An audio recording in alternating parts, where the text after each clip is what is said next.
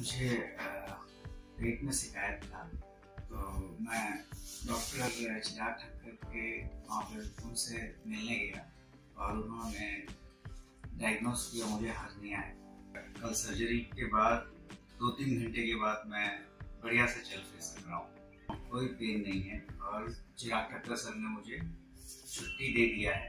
अभी सारे रूटीन काम मैं बहुत अच्छे से कर रहा हूँ। जिम भी स्टार्ट करने वाला हूँ। एंड uh, सारे एक्टिविटीज़ एकदम नॉर्मल है मेरे बहुत ही अच्छा फील कर रहा हूँ।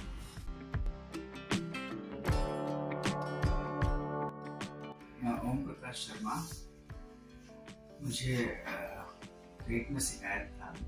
तो मैं डॉक्टर चिराग ठक्कर के वहाँ पर उनसे मिलने गया और उन्होंने डायग्नोस किया मुझे हर्निया है और उन्होंने सजेशन दिया कि आप लैप्रोस्कोपी सर्जरी करा लीजिए। बहुत बढ़िया और जल्दी हो जाएगा, और आप ठीक हो जाएँगे। तो मैंने लैप्रोस्कोपिक सर्जरी करवाया उनसे। कल के डेट में मैं एडमिट हुआ, सुबह ग्यारह बजे के आसपास। और तो उन्होंने सर्जरी करा, डेढ़ बजे, करीब तीन, साढ़े तीन घंटे के आसपास सर्जरी मेरा चला और मैं आठ, साढ़े आठ बजे तक फिर मुझे होश आ गया और दो तीन घंटे के बाद मैं एकदम चलने फिरने लगा। कोई पेन नहीं है, अब से मतलब बिल्कुल पेन नहीं है।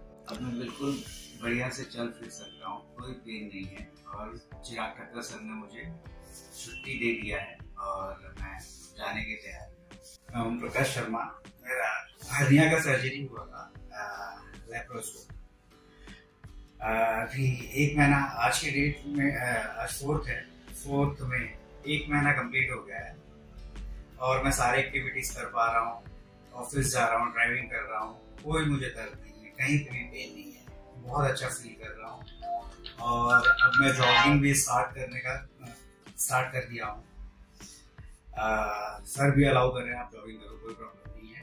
और काफ़ी बढ़िया महसूस मैं ओम प्रकाश शर्मा। चार महीना पहले हरनिया का सर्जरी हुआ था। अभी सारे रूटीन काम मैं बहुत अच्छे से कर रहा हूँ। आज मेरा चार महीने के बाद सर से मीटिंग था।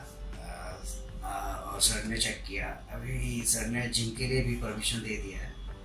बहुत अच्छे से मैं अभी काम ऑफ़िस वर्कआउट जो भी है, मैं अभी मतलब प्लान कर रहा हूँ और कर रहा हूँ।